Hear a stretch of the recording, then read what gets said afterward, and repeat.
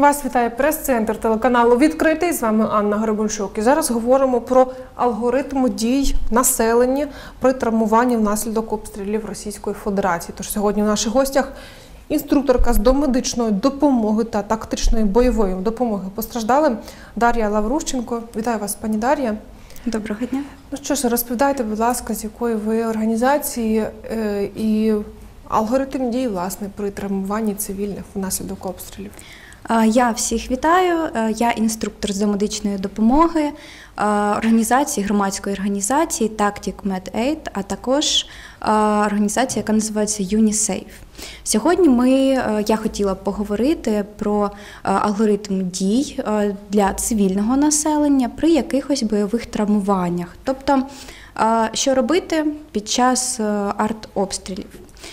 Я хотіла б наголосити, що сьогоднішня інформація вона несе е, сенс лише при цивільних травмуваннях, тобто для цивільних людей, е, для е, громади. При е, бойових травмуваннях, тобто це артобстріли, це вогнепальні поранення, мінно-вибухові поранення і так далі. Е, Хочу також наголосити, що е, ви повинні дотримуватись алгоритму дій, але пам'ятати завжди про власну безпеку. Це е, найосновніше, е, що, що ви сьогодні можете винести. Е, Я напевно розпочну так. Найперше, ви повинні впевнитись в тому, що вам нічого не загрожує. Коли починається артобстріл, дуже мала імовірність того, що наступна ракета прилетить в інше місце. Тому, якщо ви побачили, що поруч із вами відбувається обстріл, ви повинні знайти собі укриття. Навіть якщо ви бачите поранених, е, якщо ви бачите травмування або поранені самі, ви не йдете допомагати цим людям. Ви повинні знайти укриття і е, надавати допомогу лише в тому випадку, коли ви впевнитесь в тому, що е, немає ніякої небезпеки для вас. Е, Наступні дії. Е, Ми діємо по алгоритму, який називається TC3. Е, Це алгоритм, який ми викладаємо в нашій організації для військових, але для цивільного населення він абсолютно придатний. Е, Чому саме такий алгоритм? Е, Дещо змінюються протоколи надання домедичної допомоги в умовах травмування. Е, На першому місці там є оцінка обстановки, тобто е, забезпечення власної безпеки. На другому місці вже оцінка ситуації, тобто ви побачили, що є поранення. Е, Ви впевнились в тому, що вже безпечно, наприклад, закінчився артобстріл, немає пожеж, немає там перерваних ліній електропередач або небезпеки обвалу. Після цього ви можете вже наближатись до пораненого, до потерпілого. І е, перший етап алгоритму надання допомоги при бойових травмуваннях це звичайно кровотеча, тому що людина внаслідок кровотечі може померти від однієї до трьох хвилин, е, в залежності від того, яка судина поранена. Тому, коли ми підходимо до людини, ми повинні найперше оцінити, чи є у цієї людини масивна кровотеча. Як це зробити? Е, Відірвана кінцівка. Завжди апріорі масивна кровотеча, яку ми повинні зупинити. Е, Окрім цього, якщо ви побачили, що із місця поранення витікає струменем кров, фонтанує, або ж вона пульсує, тобто в такт е, серцебиттю, це артеріальна кровотеча, яка буде загрожувати життю, яку ми повинні зупинити. Окрім цього, людина може бути одягнена, і ви, е, можливо, не побачите того струменю крові, тому ви повинні оцінити е, зовнішність. Тобто це може бути е, калюжа крові поруч, або ж просто забруднений кров'ю одяг. Якщо одяг темний, то ви крові там не побачите, тому ви повинні вже підійти ближче. Е, І обов'язково е, особиста безпека, тобто лише в рукавичках ви повинні е, прощупати, подивитися, чи там є кров, чи немає. Рукавички завжди це може там бути якось не в нашому житті, але я бажаю, щоб кожен із вас завжди собою носив медичні рукавички в кармані, тому що ми повинні бути готові до будь-якої ситуації. Отже, якщо ми контактуємо з кров'ю, завжди повинні бути рукавички. Це загроза інфікування, загроза для вашого особистого життя. Ми оцінили кровотечу. Як її потрібно зупинити? У нас є два варіанти. Я думаю, що багато вже людей знайомі із таким поняттям, як турнікет. Я його з собою принесла. Хочу показати, як він виглядає. Це запакований турнікет типу кет, оригінальний турнікет. Е, І е, другий варіант це імпровізований турнікет, тому що у нашій країні не всі можуть собі дозволити е, купити турнікет за, здається, 1600 гривень. Останній раз було. Я сьогодні не буду показувати, як правильно накладати турнікети. Я думаю, що в описанні буде посилання на канал е, нашої громадської організації, YouTube канал, а також посилання на соціальні мережі, де є відео, е, е, навчальні відео, там, де це все показано. Основне, на- чому я хочу наголосити. Якщо ви будете собі або військовослужбовцям, родичам, або донатити гроші волонтерам, впевніться в тому, що турнікети, які купуються, вони оригінальні. Е, Тому що особливо на початку війни, війни було дуже багато закуплено китайських турнікетів, реплік, які не зупиняли кровотечі. Тому, якщо купувати, то лише оригінал. Е, Окрім цього, е, там також будуть відео про накладання імпровізованого турнікету, тобто як зробити турнікет із підручних засобів, з того, що у вас є зараз. Є ще один варіант зупинки кровотечі, але це, напевно, більш стосується військових. Е, Є спеціальні гемостатичні пов'язки. Тут написано кровоспинний засіб. Е, Він використовується для зупинки кровотечі, а саме е, зупинки кровотечі методом тампонування. Е, Поранена ділянка просто тампонується, і е, він дуже класно зупиняє е, кровотечу навіть е, вузлові поранення сонної артерії, пахової або пахвової. Е, Це про кровотечу. Е, Ми зупинили кровотечу. Наступний етап, про який ми повинні подбати, це прохідність дихальних шляхів. Е, Що ми повинні зробити? Під час бойових травмувань е, дуже часто це супроводжується потраплянням сторонніх тіл в ротову порожнину. Саме тому ми повинні провести ревізію ротової порожнини, е, відкрити рот і подивитися, що там є. Якщо там щось є, то витягнути це попередньо е, захистивши себе. Це рукавичка і намотати е, якусь ганчірку, можливо, або одяг потерпілого, свій одяг на палець. Е, Знову ж таки, це загроза інфікування. І дуже часто у людей е, із втратою свідомості спостерігається таке явище, як западання язика. Я думаю, що всі про це чули. Що ми повинні зробити? Ми повинні е, відхилити нижню щелепу вперед потерпілому для того, щоб е, звільнився вхід в дихальні шляхи і перевірити дихання. Як ми це робимо? Просто дивимося на грудну клітину на протязі 10 секунд. Е, Можливо, це трошки складно зрозуміти. Е, Ще раз закликаю подивитися е, навчальні відео спеціальні про це. Якщо ми не побачили дихання у людини з травмуванням, по цивільному протоколу ми повинні почати серцево-легеневу реанімацію відразу. Військові протоколи дещо відрізняються. Але для цивільного населення так, ми починаємо серцево-легеневу реанімацію. Якщо дихання є, ми повинні упевнитись у тому, що у цієї людини, яка буде рано чи пізно знаходитись е, без е, свідомості, втрата свідомість, е, щоб у неї не западав язик, або щоб вона не захлинулася блювотними масами, ми кладемо цю людину в стабільне положення набік. Знову ж таки, ці алгоритми всі є в навчальних відео. Ми поклали набік. Все. До приїзду швидкої допомоги ця людина буде жити. Ми повинні її саме дотягнути до приїзду екстреної медичної допомоги.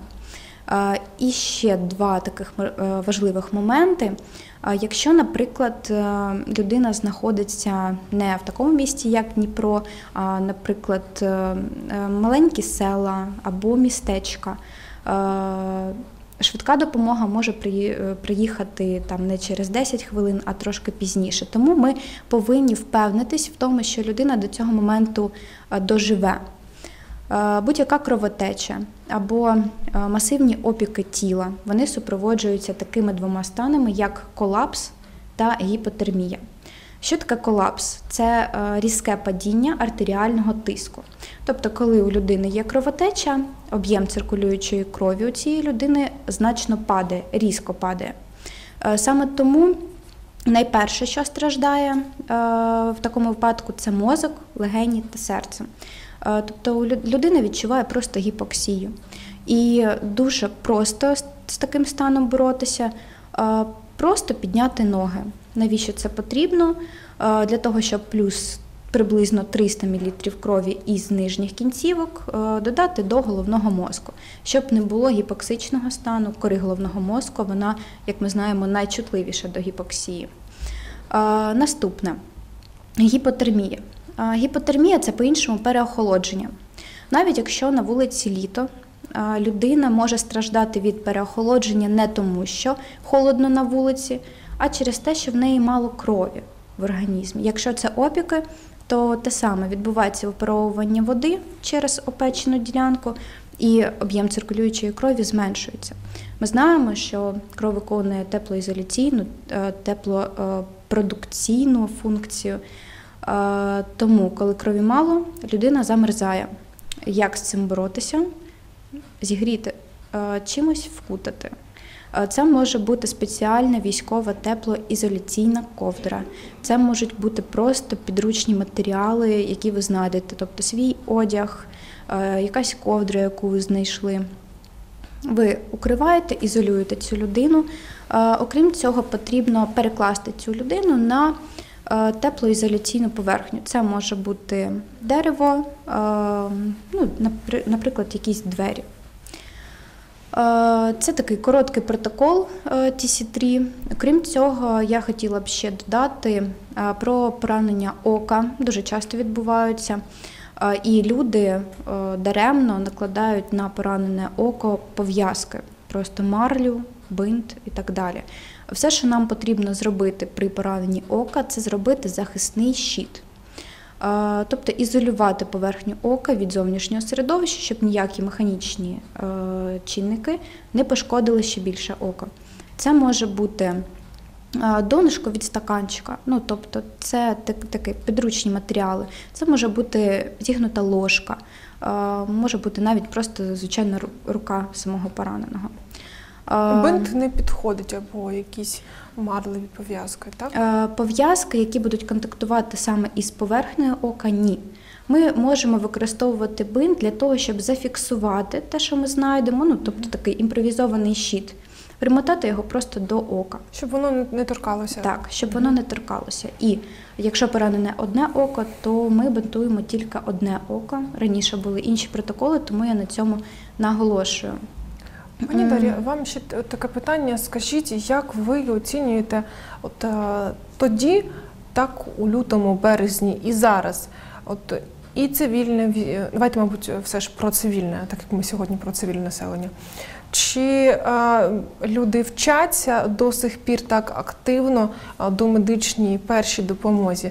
Чи все ж е, зараз е, таке, таке бажання не, не так багато бажаючих, власне? Е, Взагалі, насправді, е, у лютому зацікавленість була набагато більше, ніж зараз, але е, мене все ж таки дуже радує той факт, що до нас приходять курсанти, які хочуть навчатися. Це цивільне населення. Можливо, трішечки така масовість знизилась, але інтерес населення все одно є. І за період війни ми навчили, напевно, у Дніпрі ну, до 10 тисяч людей. Це враховуючи не тільки цивільне населення, а ще й і військове так разом. Це безкоштовні навчання. Е, Безкоштовне навчання, е, громадська організація Tactic Med Aid. Угу, це навч- Ми навчаємо і військових, і цивільних. Як довго тривати може таке навчання? Е, В залежності від курсу. Які у вас є курси і скільки тривають? Розкажіть.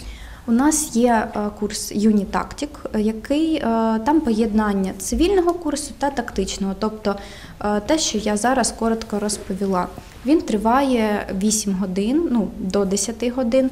Окрім цього, у нас тепер з'явився новий курс, називається Stop the Bleeding. Е, зупинка кровотечі. Він е, більш короткий. Це е, курс лише який стосується зупинки кровотечі. Він триває близько 3,5 годин. Це такий новий ми запустили, починаючи з цього місяця. Угу. Тобто, о, який ви найбільше радите курсу саме цивільним? По, по зупинці кровотечі? Взагалі-то я рекомендую, напевно, більш розширений курс тому що, наприклад, в курсі Юнітактік є як цивільна частина, так і бойова. Якщо з бойовою ну, у нас є вірогідність з нею е, зустрітися, але цивільний курс, який включає, наприклад, як робити СЛР, або що робити із людиною, яка втратила свідомість, е, я думаю, що для цивільного населення це буде більш важливо. Чи ви рекомендуєте людині завжди про собою носити аптечку або хоча б один турнікет цивільним? Е, я бажаю абсолютно кожній людині в нашій країні мати з собою пару перчаток і хоча б один турнікет. Це найосновні, е, найосновніше те, що може врятувати життя, і як показувала практика, воно дійсно працює. Тобто, це те, що я показала, е, потрібно мати турнікет як мінімум. Якщо є змога все ж носити аптечку, то що має бути в аптечці? От ви сьогодні нам принесли це військова аптечка? Е, це військова так аптечка, так.